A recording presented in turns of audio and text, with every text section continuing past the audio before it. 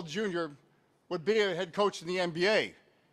But not just a head coach in the NBA, we get to say, Welcome home, Wes Unseld Jr. He is the head coach of the Washington Wizards.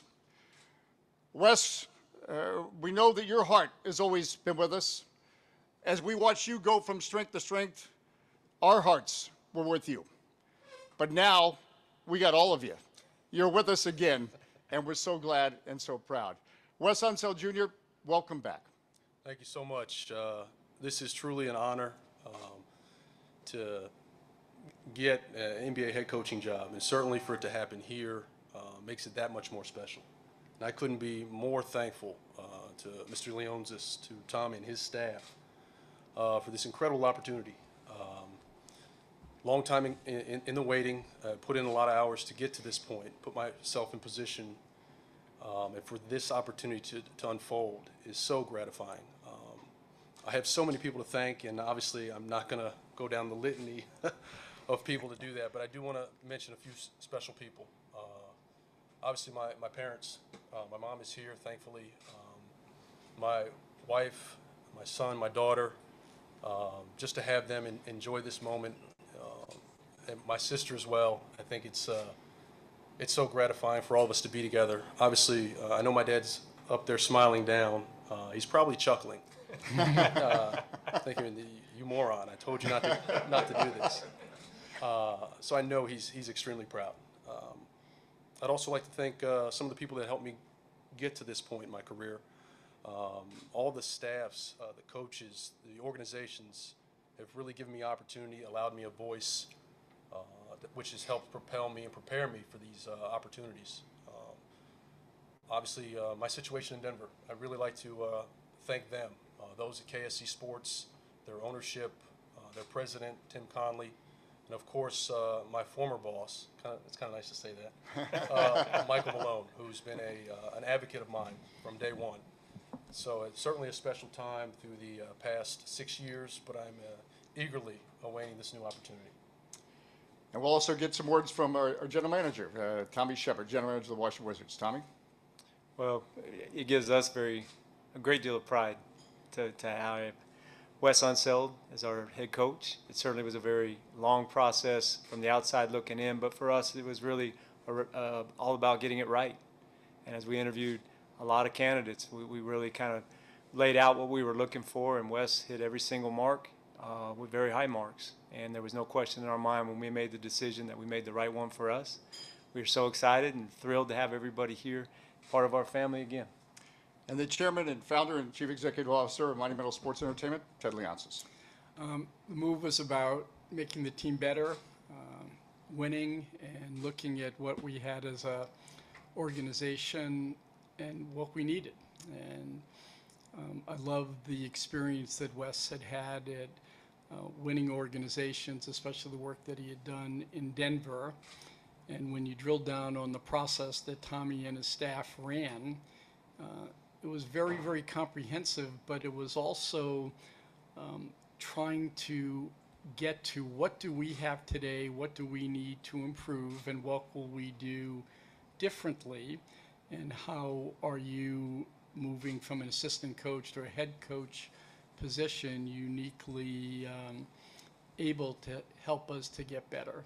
And uh, Wes's focus on uh, defense and game planning and all of the little things, all of the details that get you to win a couple of more games every year because you're out preparing the other team uh, really gave great comfort to everyone in our ownership group that this was a good move. And, you know, while I'm so thrilled and honored that we have Wes here.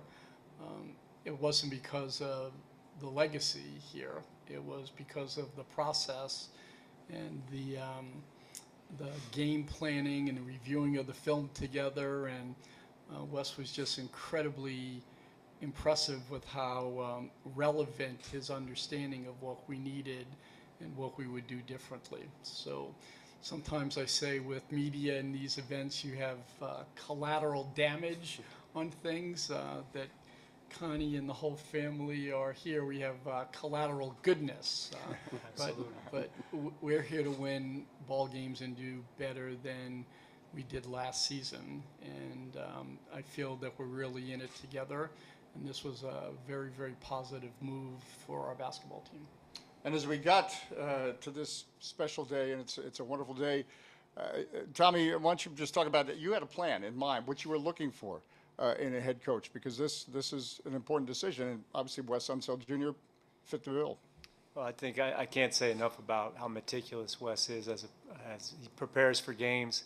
We've, we've done, uh, we, we worked together so long ago that really was kind of getting reintroduced to each other in our workflow as we went through the process and through the interviews. And the one thing that always stood out with Wes is his intelligence about the game, where the game's headed, the modern NBA, and certainly his, his proficiency on the defensive side of the ball, which is an area that we absolutely must address immediately. Those are something that's an area we know we can control and get better immediately, and I think that's something he'll deliver on. But really, his, his ability to manage the staff, his ability to have great, fantastic relationships with players. You know, when you look at his career, not just the time he was certainly when he was in D.C., but he, he worked with Steph Curry and Klay Thompson when they were young, with Vucevic, Tobias Harris, Oladipo when he was in Orlando, and certainly you look at the, the MVP season that Jokic had, and Jokic was begging him not to leave Denver. Um, you know, the players, Jamal Murray, all the different players that he touched there, and certainly it's a it's a collaborative group. But when players call you to tell you about you should hire this guy unsolicited, that's pretty impressive to me. And I, I can't say enough about the, the background that we did on everybody that we that we uh, interviewed with. But as we kept laying out our process and what we really wanted from our head coach, just all the roads kind of led back to West Junior. Very excited to have him here. Again, I interviewed about 20 people from different gender, different race, international. Uh, It it was an exhaustive process. That was very diverse and very inclusive intentionally. You know, when we started this process, we set out to find the very best person. And we interviewed former players, former head coaches, people from the WNBA, people from the NBA uh, from years ago, people that are current assistants, former players, every category you could possibly want because we wanted that diversity of ideas and inclusion of everyone. But again, as you go through this process, you can interview a lot of people, but sometimes, as they say, the cream rises. And this is really where we ended up, where we landed on. It was a tremendous opportunity for us. And I, I just think that for where our team is and where we're headed to, Wes is the perfect leader for that team. Well, Wes, you have always had me at hello, but obviously you had to convince Tommy and, and Ted. What, were- what were some of the things that you brought up? Uh, your vision a- a- as you sold yourself, as you wanted to come back home and be the head coach of this team. Well, I mean, it's, it- you know, we touched on it. The, the defensive side of the ball has been an issue here. Um, and that's an area where I've, I've been charged with for the past five seasons. And I've, we've seen marketable improvement in that area. Um, and it, it boils down to buy-in and commitment. And I think, uh, all parties involved, including the players, they, they know for us to take that next step, to, uh, really get to the level which we think we, uh, can attain, it's gonna take that, that commitment to, uh, that side of the ball. And again, uh, Ted, uh, uh, as you make this an attractive destination, it, it should be pointed out the commitment the ownership group is trying to, to, to foster to attract someone like Wes Unseld Jr. or the players to the franchise. Yeah, we wanted to make sure that the, in the process, we did talk to a lot of people. Um, I'm extroverted. I think it's a good thing to get lots of input and hear lots of voices. And, um, and it's also a way for us to uh, reintroduce the organization throughout the league. And what I'll say is that the NBA is in great, great hands. Um, every single person that we met and talked to was outstanding. And you've seen that a lot of assistant coaches are taking the next step, um, especially this summer. And I think there's a reason for that. Um, this is a very, very demanding job. And sometimes when you're a head coach and a second and third time head coach, um, I don't think you work as hard. I think you rely on your assistant coaches. And what I found with the interviews, and especially in talking with Wes, how they do the game planning. They know the players, they know the tendencies, and they have to work really, really hard to prepare for each and every game. And I, I looked at our team, and there were times when I thought we lost games that we shouldn't have. Um, yes, defensively, but I just think having a work ethic and a demanding style will be a really, really good um, point of differentiation for us. The, the players all in the exit interviews, when we talked to them about what we were lacking and how we can improve, they talked about the little things. They talked about defensive intensity. They talked about communications. Uh, when we talked to Wes, like what's the what's the key to better defense? It's um, hard work, game planning, communications, and and we watched some film together. It was really fascinating in talking to the assistant um, coaches, the eye on detail where everyone is positioned on the floor and you know what they were doing right, what they were doing wrong, and that's what we want to be known for. We'd like to have great talent, but you'd like to have a great organization that's very professional, very thorough, and demands the, the best out of everyone in the organization. And Tim mentions organization. Uh, Wes, uh, uh, you know the NBA is continues to improve and, and rise in, in so many ways. And just your perspective now as you come home, uh, and there, there's a, a dedicated practice facility. Uh, you know, I know you're one that likes to collaborate, and it, it is now about a collaborative effort. One person doesn't have the solution, and, and that infrastructure exists uh, with this franchise. Some of your thoughts just as you come back to the Wizards and, and what you see the commitment is. Well, I just think tr- it, there's tremen- tremendous uh, potential here. Uh, aside from the roster, the alignment between these two gentlemen on my right and left, their uh, respective staffs, uh, I think the shared and collaborative resources that have uh, been laid out. Um, I've had the opportunity to meet with some of those department heads, and just to see how uh, their visions are, are, are aligned with mine. Um, and obviously, it's it's all geared to winning, but uh, there's a plan behind it. So uh, you, you feel really comfortable um, in this seat knowing that you have such a support system, a wide net of people who are not only competent but uh, you know extremely gracious with their time, and we're all pulling in the same direction. Tommy, uh, again, you kind of touched on this, but um, to see Wes in this position next to you, uh, ready to, to guide us uh, this season, uh, from where you remember him working with us as how many jobs did you? I I think the only job you didn't have was a radio announcer, but uh, you know I'm, I'm hanging on to that. But uh, just some of your thoughts on the, the growth that you've witnessed firsthand. You know, in the NBA, I think you almost call them DVR relationships sometimes. We work together, and then he left and went to other places, and we'd catch up, and we were always friendly. But, you know, you, you're in your own world when you're working for an NBA franchise. So getting to re-know Wes through this process in terms of where he was as a coach was very important because you really were about to work together, and the partnership needs to be one where we are absolutely in line. And I was amazed at Wes's growth as as as a person, he was always meticulous, always prepared. But his knowledge of the game and where it's been, the responsibility he's been given, other places that he'd been, uh, just made such a huge impression on me. And I, I knew he had it in him, but when he showed it right up there, front and center, you know, that really was the moment of truth for me. Is that this guy's really ready to be a head coach. You know, and I, I know for from personal experience, you know, there's a lot of people ready. They just need the opportunity. And I think given this opportunity, Wes is going to be a fantastic head coach. And we know that Wes Unseld Jr. has certainly paid his dues, even at dinner with me at training camp. That means you've definitely paid your paid your dues. and he paid the With- tab, I No, right, no.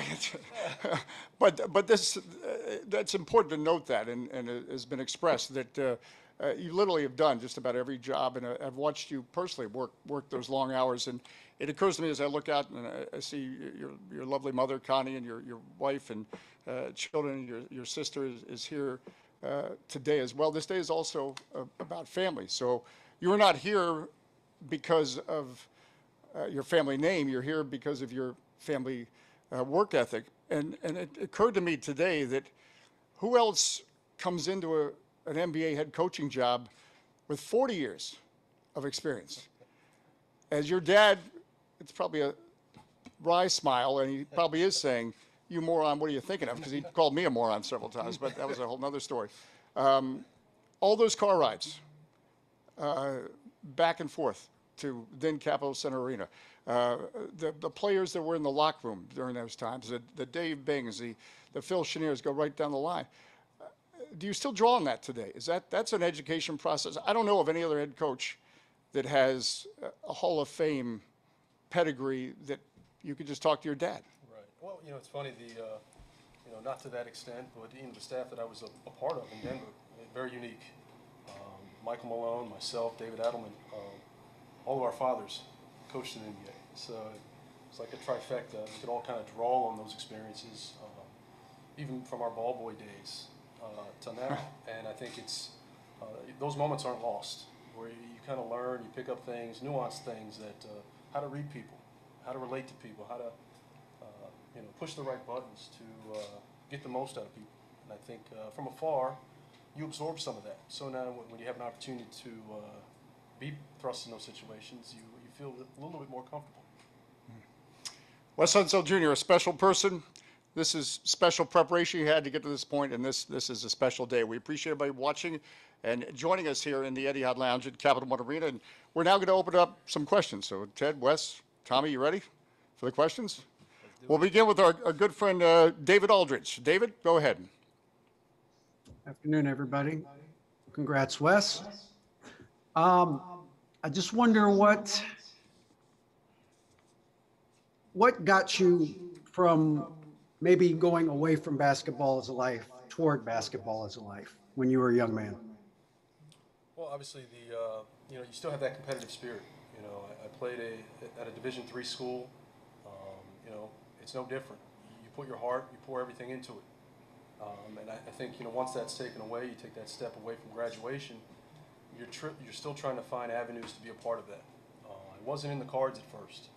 Um, the, the whole thought process, and I shared this with Tommy, uh, was to take a year off, uh, go back to grad school, and uh, you know move on. Um, I was obviously had the blessing of uh, a father who worked in sports, so he gave me the opportunity to uh, get an internship, and know, and, and then worked me like a dog. So, uh, but it paid off, and, and, and a lot of those valuable experiences, are, uh, I think, helped propel, prepare me uh, for this opportunity. Um, so it's you know you have that fire, you have that competitive nature, and you just want to find ways to still you know quench that thirst. Uh, so as I you know, gained momentum uh, from whether it's the advanced scouting, moving uh, as a fifth, fourth assistant, being around it, it just still it, it still burns, and I think you uh, want to continue that path.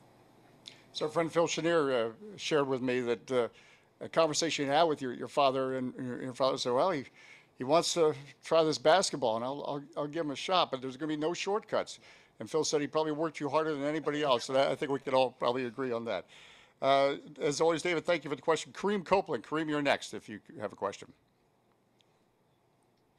Hey, hey, everybody. Um, Kareem Copeland, Washington, uh, Washington Post. Nice to meet you, Wes. Nice to meet you.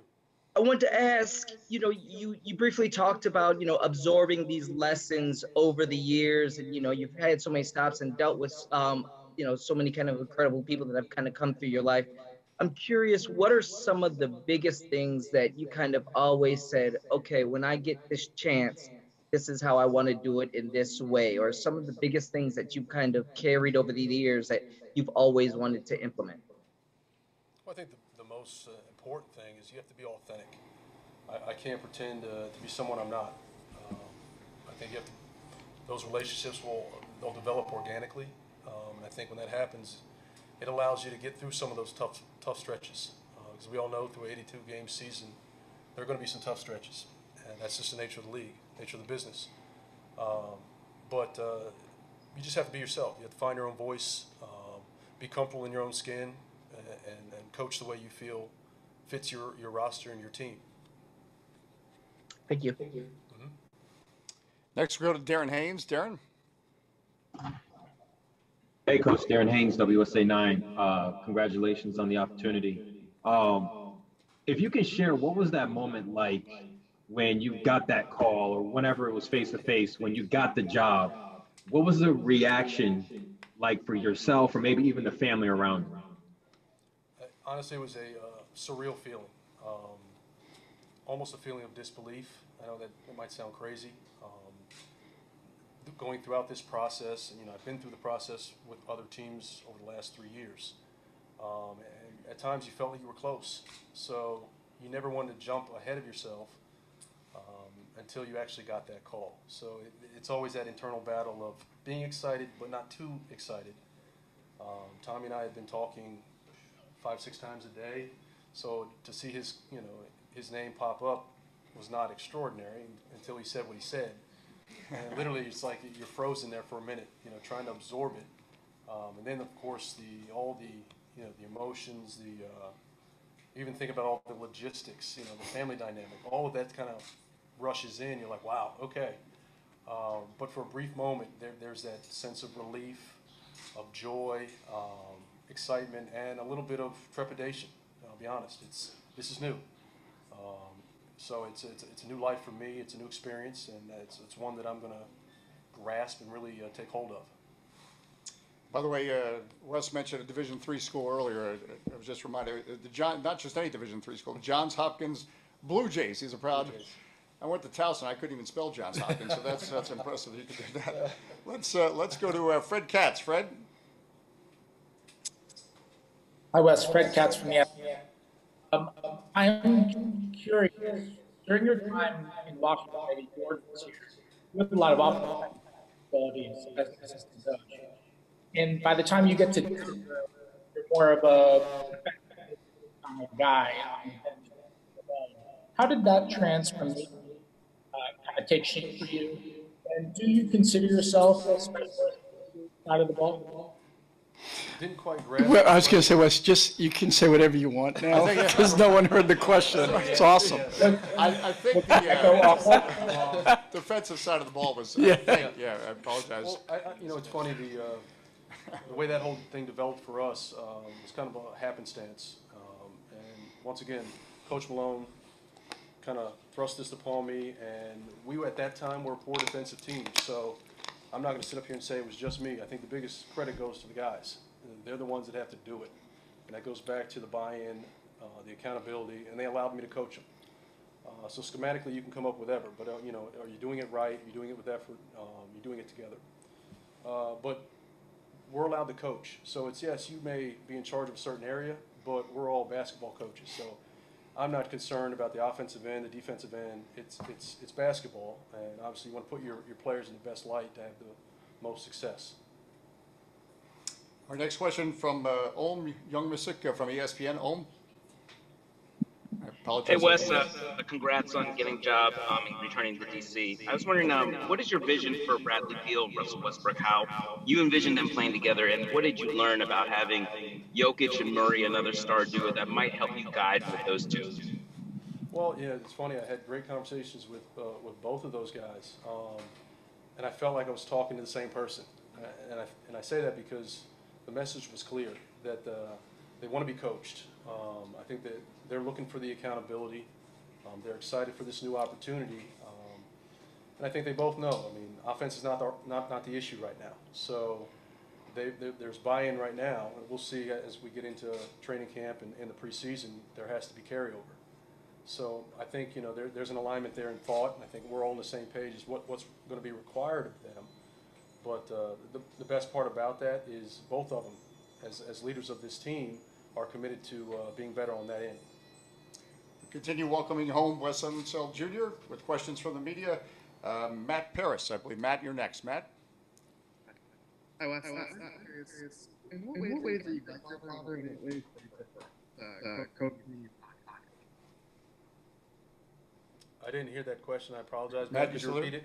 Yeah, yeah. Uh, what ways are you like your father and what ways are you coaching? I still didn't get it. I didn't- I'm trying, I'm working a remote here, but I'm probably opening a garage door on Wisconsin Avenue. Um, Matt, yeah, may, may, maybe if Matt could text it to uh, Scott Hall. So, uh, Matt, if you could text the question, we'll get to that. Kellen Song is next. Kellen, you there? Yes, yes, hi. Congratulations. Um, you mentioned this in the, but when, when you have a roster, what are your, your, how the the team is, team is starting now? And you mentioned you, you spoke with Bradley and, uh, Russ. Have you spoken to other players as well?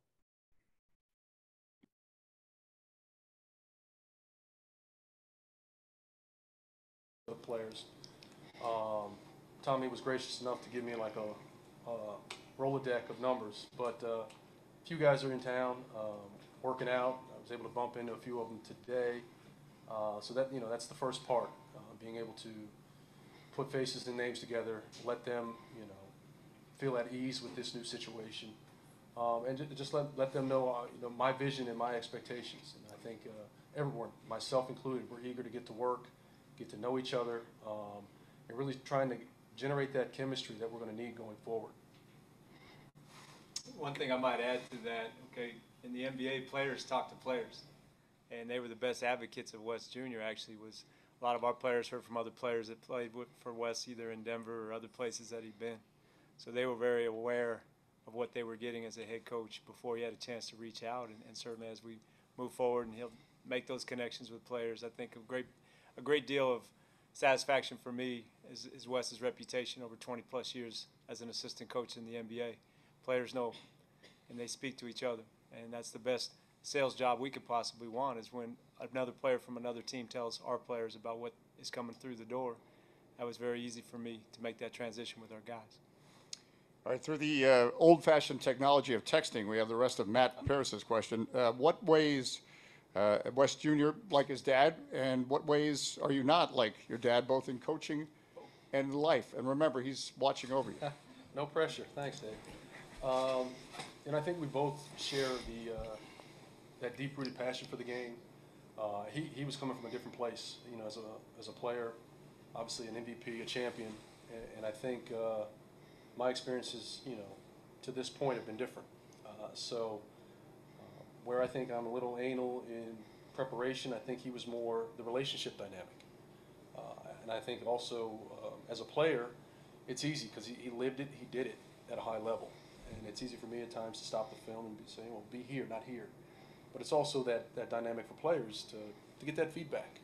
Uh, they're the ones that have to do it, and I think that, once again, builds that collaborative spirit that uh, their opinions are, are valid. And, uh, and I, like, I like that feedback and, and want continued feedback from them because I think it, uh, it'll help empower them, and now they become more vested in what we're trying to do. Okay, next question from uh, Wes Hall. Wes? Right. Uh, first of all, thank you. Uh, congratulations, Wes, for another Wes, and uh, welcome home. Um, you've spoken earlier about the next step and being prepared and wanting to take the next step for this team. What does that next step actually look like for you moving forward here? Great advice from Coach Malone was at some point, um, you've got to learn to prepare as a head coach and, and less like an assistant. And I think that's, yes, the details are important, but not as concerned with the minutia of the day to day. It's about managing people, uh, and, I- and I think that's the biggest difference in taking that next step. Uh, we always say, those 18 inches to your left or right, um, because that personal dynamic is what uh, solidifies that, that core group. Uh, the X's and O's will take care of itself. Uh, you know, I, I think that's that's actually the easy part. It's trying to manage people, get the best out of them, um, and uh, when you do that, I think you build yourself uh, you build yourself up to have a lot of success. And we'll continue questioning from uh, Yaron Talpaz. Yaron, you there? Yes, uh, thank you very much. Uh, welcome, uh, Wes. I'm from the Washington Wizards uh, Israeli uh, media channels. Um, so uh, I'm happy to ask whether uh, you know what you felt about Deni Avdija's uh, first season and what you see for him. Uh, I see you guys laughing. Uh, so yeah, uh, what you see foresee for him. Uh, you know, maybe uh, offensively, defensively, on both ends of the floor. You're smiling. Oh yeah, yeah, definitely smiling. Um, you know, it's funny. You, you prepare for for teams and you scout teams from afar. Obviously, playing uh, teams in the East only twice a year, it's, it's somewhat of a limited scope. But as we got down the road in this process, you, you, you start kind of looking back, digesting a little bit more film, um, understanding the nuances of the roster. And I, I think Deni's got a lot of potential. Um, I'm extremely um, happy that I get an opportunity to coach a guy like that because I think there's a lot of versatility there. Um, obviously, and I think it goes to a man. Defensively, we have to be better. But I think he's got a lot of physical tools. Um, obviously, struggled a little bit, you know, with uh, the shooting. I think he's a shooter. He'll, he's going to make shots. Uh, you will come back to the average. But uh, uh, for him, it's just the let the game slow down a little bit. You know, with COVID, so many restrictions the teams had, injuries. Uh, there wasn't a lot of on the floor practice time. Um, and with that, he didn't get the necessary reps. So I, I think it's, uh, it's a little unfair to really categorize a guy right now, but just from afar, it's, uh, I think he's got tremendous potential. Thank you. Thank you, Jan. Uh, We'll be rooting Deni on this season as well. Let's, uh, Ed Lee, well, uh, Ed, you there? Hi, this message for uh, this question is for Wes. Uh, Wes, I was wondering um, your upbringing in Baltimore, your playing careers at Loyola and Johns Hopkins. How did they shape you as a person and as a coach? We dug that deep. Thank you for that. Uh, tho- those environments were, were great for my formative years. Um, you know, I, I was around great coaches, uh, where it wasn't necessarily just about winning. It was about building, building habits. You know, uh, well-rounded human beings, being, you know, as the Jesuits would say, men for others. Uh, so I think that, you know, you kind of carry some of these little tidbits with you. Um, and you take a step back, and yes, that, that is our goal. We want to win. That's what's important. This is a results-driven business. But it's also part of the journey. Um, and obviously, when you have great people around you, uh, that, that journey's, you know, that much more special. I have another, last one? I have another one. We didn't rehearse this part. did We, no. Oh, Zach from, our good friend Zach from Japan. Zach, uh, you have a question. Yeah. Hey, uh, Dave, thank you so much. Hello, coach. Uh, I'm Zach Ikema, the Japanese language reporter with the Wizards. Congratulations. I don't know if you can hear me. I think the mic's cut off for a sec. Um, since Yaron asked about Deni earlier, I got to ask about Rui Hachimura. I wanted to get your thoughts on Rui going into his third season and now about to play in the Olympics. Well, it's, it's funny. Tommy's been sending me clips from his games. Uh, you know, just, I'll get like a 15 or 30 second clip, and uh, he, he's playing with a lot of confidence. And I think he's another young player who, uh, you know, will fit, fits our core. And I think it really helps elevate uh, our, our, talent.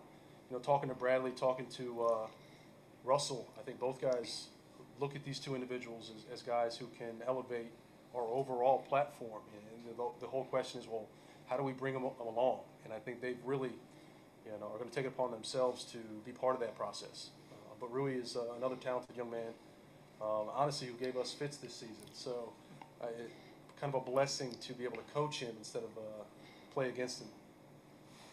Well, this truly has been a special day as I look at your mother, Connie, here, and uh, we're rooting for the Unseld School to continue to make a difference in people's lives as it has done now for oh, 30 plus years, I, I believe. And your lovely wife, Evelyn, and, and children are here today, and, and, your sister, Kim, as well. This is a special day for our, our, our franchise uh, in so many ways. Needless to say, the, the Unseld name is linked uh, with our franchise. It's as, as strong as uh, the character and strength of Wes Unseld Sr. and now Wes Unseld Jr., who we say welcome home to, and he is the head coach of the Washington Wizards. On behalf of Ted Leonsis, the chairman and founder and chief executive of Monumental Sports, Wizards general manager Tommy Sheppard, and our new head coach, I thank you for the time this afternoon.